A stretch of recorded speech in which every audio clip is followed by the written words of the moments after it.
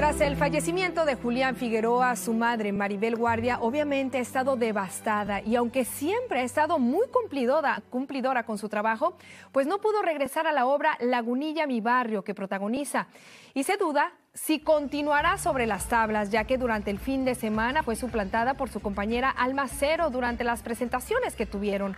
Los compañeros de Maribel le dedicaron la obra y su trabajo a la actriz. Bueno, entre ellos está Freddy Ortega, quien mostró su admiración por la actriz y recordó pues lo que compartió con ella minutos antes de que recibiera esa trágica noticia, la de la muerte de su único hijo. Escuchemos.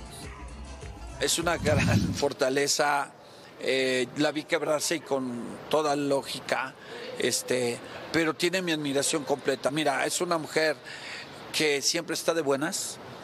Y bueno, nada, pues eh, imagínate, yo, yo no puedo ni siquiera imaginarme un segundo. O sea, todavía yo nos vimos terminando la obra, hay una virgencita junto y rezamos, muchos pasamos. Y yo estaba junto con ella, todavía nos, nos agarramos para levantarnos y todo. Y chao, Estoy muy bien, igual, no sé qué, y hasta ahí.